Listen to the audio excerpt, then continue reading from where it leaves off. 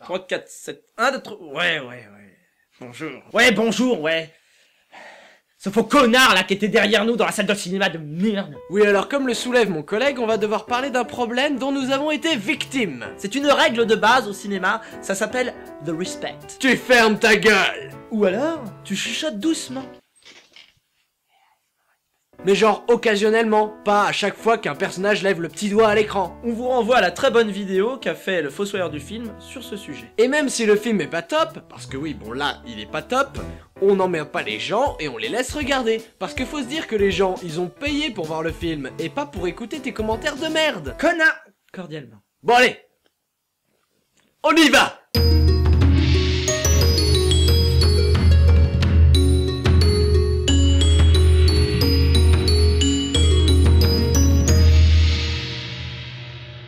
Donc vous l'avez bien lu dans le titre de la vidéo, aujourd'hui on va vous parler des Chevaliers du Zodiaque, la légende du sanctuaire réalisé par Keiichi Sato et qui est sorti cette année en France. C'est déjà pas mal. Le 25 février 2015 pour être précis. On doit vous le dire, on n'a pas été dans les meilleures conditions pour visionner le film, ce qui a peut-être influencé notre jugement. Déjà, on l'a vu en français. Parce qu'il n'y avait pas de séance en VO et qu'on voulait absolument le voir sur grand écran. Le jeu des comédiens de doublage français n'est pas du tout mauvais, mais en fait ils ont énormément de mal à retranscrire le style japonais, parce que en effet c'est difficile de retranscrire l'écriture japonaise qui est très spécifique à ce pays. Et parfois, ce que disent les personnages en français paraît très niais, alors qu'en japonais, bizarrement, ça passe. Forcément on ne lit que les sous-titres sans comprendre la langue, du coup bah ça passe mieux. Par exemple, quand on essaye de lire les paroles des chansons de Miyazaki en français, euh, ça fait mal.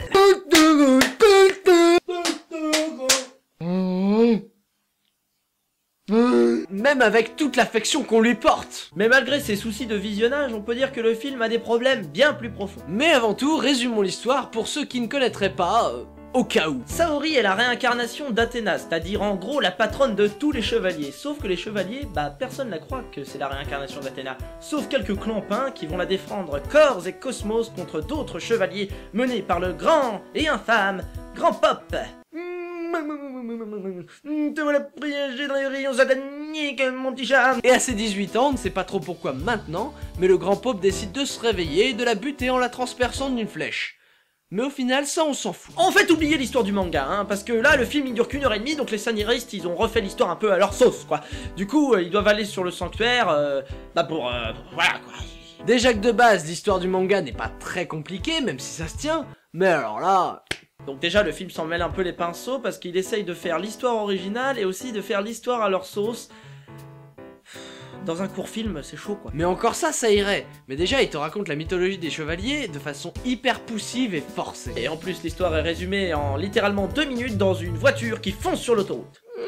Histoire de bien faire une symbolique du fait qu'ils ont pas le temps, les gars. Et là, du coup, on arrête les explications parce que ça devient banal et chiant, et du coup, on veut l'action, comme le fan le veut. Ah oui Avec de nouvelles armures plutôt sympas. Mais ça, on va en parler après. Et là, il s'agit pas de faire attendre le fan pour faire le fan service. Non, non, le Pegasus Ryu Sanken, tu l'as comme ça, à sec. Et y a pas que le Pegasus dans la scène, hein. Non, non, non, non, non. T'as aussi ta colère du dragon, t'as ton Diamond Dust, t'as ta chaîne nébulaire.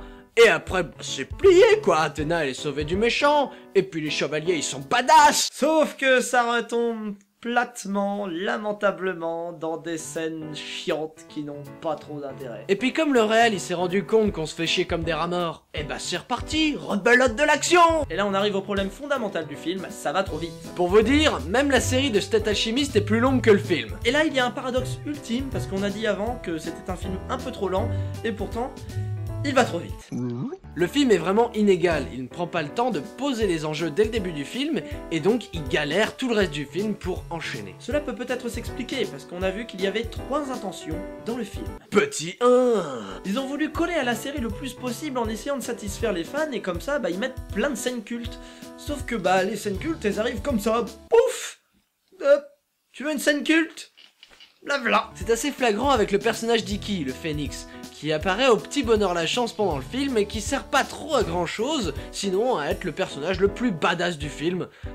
C'est Batman le gars. Et c'est pas le seul exemple, par exemple il y a la maison du verso qui arrive comme ça, là, on ne sait pas trop comment, Shiryu torse à poil, et bien sûr le combat de 100 ans entre le chevalier de la Vierge et du lion. Qui ne dure pas 100 ans, ce qui nous amène au... Petit 2, Little 2. Ils ont voulu faire un film pas seulement pour les fans, mais aussi pour le tout venant. Et donc forcément il faut populariser et donc condenser le background très lourd en une heure et demie de film. Et dans cette volonté de populariser, ils ont rajouté tout un tas de détails inacceptables pour le fan. Le fan français en tout cas. Mais qui fait sans doute bien marrer le spectateur japonais, qui est la première cible du film après tout. Le très méchant chevalier qui pousse la chansonnette ou bien le valeureux chevalier Seiya qui pleure comme une fillette parce qu'il s'est tapé la main contre un pilier, bah ça c'est très drôle pour les japonais. Et puis la troisième phase de boss de fin de Resident Evil, c'est typique. Et enfin, Petit 3 on sent qu'ils ont peut-être eu envie de se foutre un peu de la gueule des fans et de la série parce qu'ils voulaient faire leur truc à eux, leur propre film. Par exemple, Seiya qui se propulse dans les airs pour aller soi-disant plus vite. Sauf que, bah, il peut pas sauter au-dessus d'une maison, non non non, faut qu'il arrive dans la maison. Le fait qu'un des chevaliers d'or est une femme et qu'elle ne porte pas de masque est un gros fuck you aux gros fans. Et aussi la fausse Athéna qui dévoile un visage métallique assez proche des masques de la série, ce qui n'a aucun sens dans la logique du manga. Et ça va même sur les petits détails, genre Athéna elle porte pas le sceptre niqué dans la bonne main. Ou alors le chevalier du lion qui a un piercing. Fait chier mais c'est comme ça, c'est pas grave. Et le chevalier Mu qui a des lunettes aussi, qui a fait rager beaucoup de personnes sur internet, mais ça, ça s'explique scénaristiquement. Il fallait montrer au public que le mec c'est le cerveau du groupe de façon rapide. Et qu'est-ce qui montre que t'es le cerveau du groupe de façon rapide? Et même une scène post-générique parce que, ouais, ouais, ouais, il y en a une. Ah, puis elle vaut le coup. Oh là là On se disait que peut-être il y aurait un clin d'œil pour les fans, ou bien une ouverture pour un prochain film. Bah... Non. C'est le moment où on va dire un peu de bien du film. Désolé, on n'est pas que des bâtards. C'est beau Les armures sont classe Les combats sont assez classes et ils vont bien dans le détail et rajouter des trucs plutôt pas mal. Un dragon dans la colère du dragon. Ça c'est bien. Par la colère du dragon Et une idée nouvelle qu'on a trouvée tout à fait pas conne. L'armure semble emmagasiner de l'énergie. Bah, euh, ton cosmos quoi Et puis faut avouer que c'est plutôt classe de voir les armures s'illuminer pendant qu'ils se battent. Leurs yeux aussi changent de couleur et c'est une façon assez rapide et classe de montrer qu'ils vont utiliser leur pouvoir. Enfin voilà, c'est classe visuellement quoi, avec les casques qui se ferment à la Power Rangers. Ouais mais ça c'est la classe le Sentai. Mais malgré tout, c'est pas ultra décoiffant. En tout cas, ça ne permet pas de dissimuler les écueils du scénario. Et c'est d'ailleurs comme ça qu'on a conclu le film en sortant de la salle du cinéma. C'est un film épique, mais pas assez. Mais en tout cas, ça m'empêchera pas d'acheter le Blu-ray, parce que avoir des chevaliers du Zodiac en Blu-ray et qui font des super attaques de la mort qui tuent, bah euh, voilà, c'est super classe et c'est tout. De toute façon, je vous emmerde. Et comme d'hab, on finit sur la musique, et euh, on peut dire que c'est plutôt cool pour le coup. En même temps, la musique dans ce film occupe une heure du film sur les une heure et demie, donc elle a intérêt à être bien faite. Effectivement, on s'est pas foutu nous, mais écoutez plutôt.